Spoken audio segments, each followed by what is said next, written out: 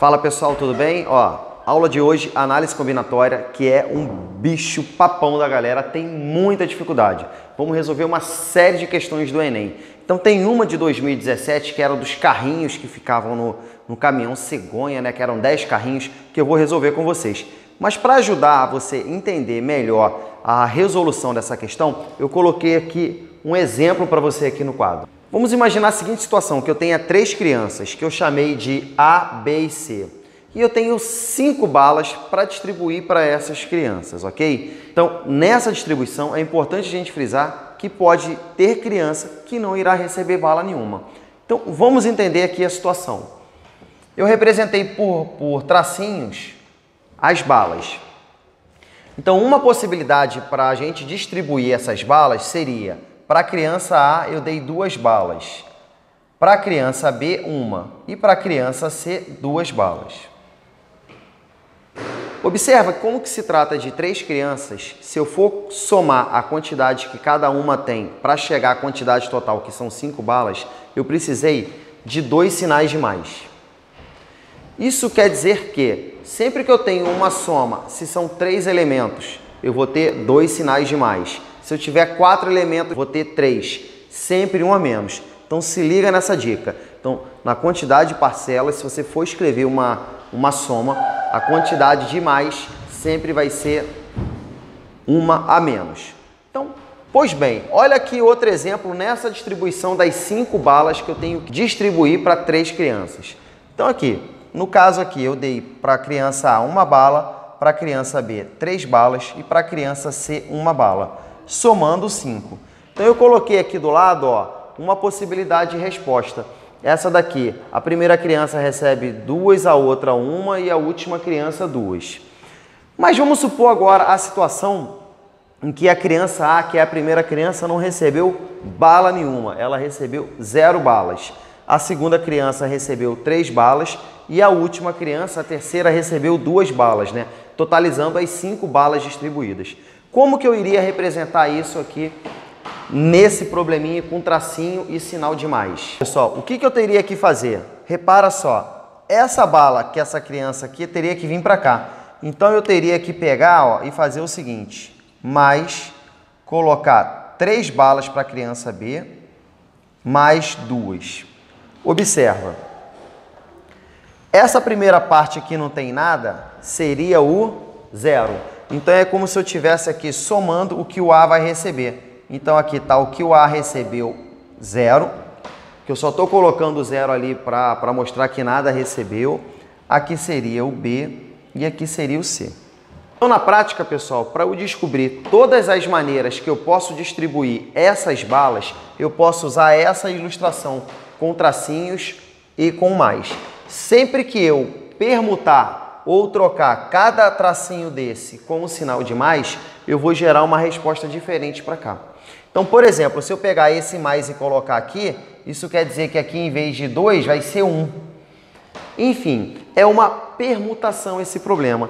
E aí a gente vai contar quantos elementos eu tenho aqui. Eu tenho 1, 2, 3, 4, 5 elementos, que seriam as 5 balas. E eu tenho quantos sinais de mais? 1, 2. Então, totalizam aqui sete elementos que eu vou permutar com repetição.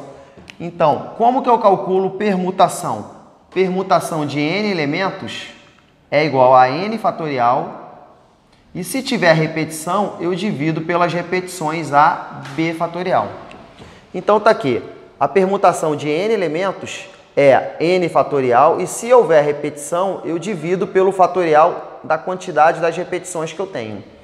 Então, aqui no caso do meu exemplo, vai ficar, são sete elementos, né? E quantas repetições eu tenho? Ó, uma, duas, três, quatro, cinco. São cinco tracinhos iguais. E tenho dois elementos iguais aqui, que são os sinais de mais. Dois. Então, esse daqui ficaria 7 fatorial, 2 fatorial, 5 fatorial. Ficando isso aqui, pessoal, eu teria 7 vezes 6 vezes 5 fatorial sobre 5 fatorial vezes 2. Simplifico. 7 vezes 6, 42, dividido por 2, deu 21. Agora a gente consegue fazer a questão dos carrinhos no caminhão cegonha de maneira bem mais fácil o entendimento. A questão do caminhão cegonha era um brinquedo infantil, né, que tinha uma carreta com 10 carrinhos. Bom, de acordo com a questão diz o seguinte, a são da empresa que fabrica esse brinquedo é feito a pintura de todos os carrinhos para que o aspecto do brinquedo fique mais atraente. São utilizadas as cores amarelo, branco, laranja e verde. E cada carrinho é pintado apenas com uma cor. O caminhão cegonha tem a cor fixa. A empresa determinou que todo caminhão cegonha deve haver pelo menos um carrinho de cada uma das quatro cores disponíveis. Mudança de posição dos carrinhos no caminhão cegonha não gera um novo modelo de brinquedo. Então, o brinquedo nada mais é que um caminhão onde você tem né, é, 10 carrinhos totalizando. Quatro opções de cores. Quais são essas opções de cores? Amarelo, branco, laranja e você tem o verde. Quatro opções, 10 carrinhos. A posição, se você trocar os carrinhos, não vai mudar o brinquedo. E ele disse o detalhe, que você tem que ter pelo menos um carrinho de cada cor. Então você tem 10 carros no total. Tudo bem, pessoal? Você tem 10 carros. Então ele já determinou que quatro desses carros, pelo menos cada um deve ter uma cor. Então se eu subtrair aqui, eu vou ter seis carros. Porque esses quatro aqui, eu já, né, eu, eu coloquei eles de maneira fixa. Eu fixei, né, um, uma cor para cada um. Ou seja, desses quatro carrinhos, um vai ser amarelo, um vai ser branco, um vai ser laranja, um vai ser verde. Então eu não tenho que me preocupar com eles porque eles já vão sair quatro, um de cada cor. Eu tenho que me preocupar então como que eu posso então pintar os outros seis carrinhos. Eu tenho quatro cores, pessoal, que é o amarelo, o branco, o laranja e o verde. Se eu pintar todos os carrinhos, pessoal, com essas quatro opções de cores, tem que totalizar seis carrinhos, que foi o que sobrou do problema, né? Porque eu já separei quatro no começo do problema. Galera, o que, que eu vou fazer agora? Igual eu fiz no começo da aula. Eu vou colocar, então, um traço para cada carro. É como se aqui fosse cada carrinho. E aí as cores que eu vou somar, né? Ou seja, cada carrinho com uma cor, eu vou ter que aqui colocar, no caso, três sinais de mais somando. Que aí eu posso colocar em qualquer lugar, eu posso colocar aqui, posso colocar aqui e posso colocar aqui. Isso quer dizer que lá do começo da aula, se você lembrou, eu teria nessa posição que eu coloquei, esse daqui, esses dois carrinhos, seriam pintados de amarelo. Esse único carrinho aqui seria pintado de branco. Esse outro carrinho aqui Esse outro aqui seria pintado de laranja. E esses dois últimos aqui seriam pintados de vermelho. E aí agora ficou fácil. Se você entendeu no começo da aula, o que importa é o seguinte, eu tenho 1, 2, 3, 4, 5, 6, com três sinais de mais. Eu tenho aqui nove posições, que cada permutação dessas posições que eu fizer, eu vou alterar a quantidade que cada um vai ter. Eu teria permutação de 9, e repetição de seis traços, que seriam os seis carros, e três sinais de mais. Então, isso ficaria pela fórmula 9 fatorial, 6 fatorial sobre 3 fatorial.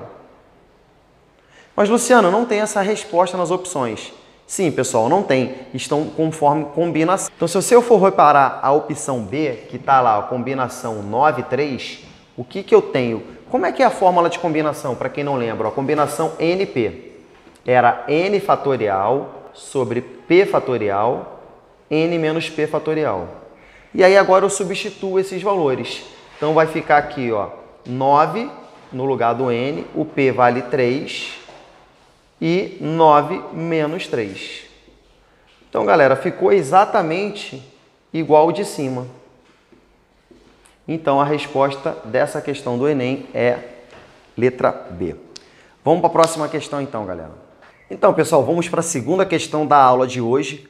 pelo tempo vai ser a última, mas eu vou gravar mais uns dois vídeos sobre análise combinatória e probabilidade. E se você está gostando desse vídeo, dá um clique aqui. Ó, o canal fala sobre tecnologia, sobre, sobre Paraguai, enfim, e também muita matemática. Então na playlist você vai conseguir encontrar essas coisas organizadas. Então vamos para a segunda questão. A segunda questão diz o seguinte: Como não são adeptos de prática de esportes, um grupo de amigos resolveu fazer um torneio de futebol utilizando videogame. Giro que cada jogador joga uma única vez com cada um dos outros jogadores. Então, pessoal, não é jogo de ida e volta, tá certo? Você joga uma única vez com cada amigo seu. O campeão será aquele que conseguir o maior número de pontos. Observaram que o número de partidas jogadas depende do número de jogadores, como mostra o quadro. Pessoal, eu tenho essa tabela, onde aqui é o número de jogadores e aqui é o número de partidas que eles têm que jogar. Então, por exemplo, se tem dois jogadores, eu e um amigo, nós vamos jogar uma única partida. Bom, a partir daí está a tabela montada. Mesmo que você não soubesse nada de, de análise combinatória, você seria capaz de resolver essa questão.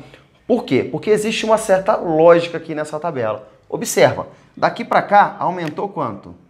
2, não foi?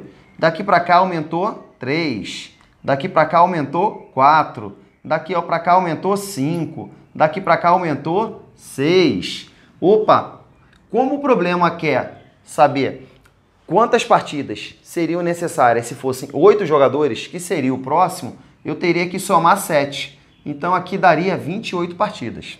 Luciano, e se eu não tivesse a tabela montada e o problema fosse sem a tabela, como que eu iria fazer isso?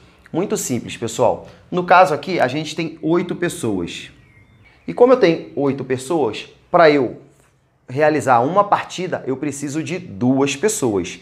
Então, cada grupo de duas pessoas que eu escolho, ela representa uma partida diferente e um resultado. Como a ordem das pessoas não importa, por exemplo, vamos supor, eu e meu filho João Pedro fomos escolhidos. Então escolheu Luciano e João Pedro. Vamos fazer uma partida. Se for João Pedro e Luciano, são as mesmas pessoas, a ordem não importa. Como a ordem não importa da escolha, isso é um problema de combinação.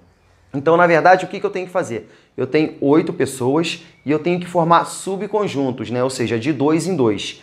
Cada duas pessoas que eu escolho vai ser um resultado diferente que vai representar uma partida. Então, nesse caso, é um problema de combinação, onde eu tenho combinação 8 e tomados 2 a 2. Esse tomados 2 a 2 diz que eu estou fazendo conjunto com dois elementos. No caso, os elementos nesse problema são pessoas. Se ligou, galera? Se ligou no que eu falei? Então aqui, quantos grupos, né, ou quantos conjuntos de duas pessoas eu consigo realizar no total? Eu uso essa relação.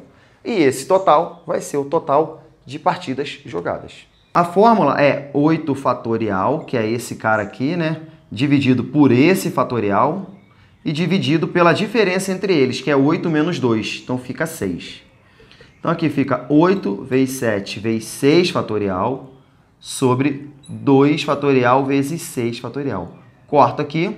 8 vezes 7, 56. Dividido por 2, deu 28, que é o mesmo resultado. Mas não acabou, galera essa primeira parte fizemos duas questões. Se liga que no decorrer da semana ou da semana que vem eu vou colocar as outras questões para vocês. Ah, eu vou deixar aqui na descrição do vídeo o link com o arquivo das questões que eu vou resolver. Então é só você baixar, tá no formato PDF, tá com gabarito, então você vai poder acompanhar e assistir a próxima aula. Valeu, galera. um forte abraço se inscreve, tem uma pasta Enem com poucas questões, mas pode ajudar você de alguma forma. E a gente vai estar tá, fazendo mais aulas, inclusive de probabilidade. Que Papai do Céu proteja a sua vida, que você tenha uma ótima semana. Valeu, galera. Um abraço.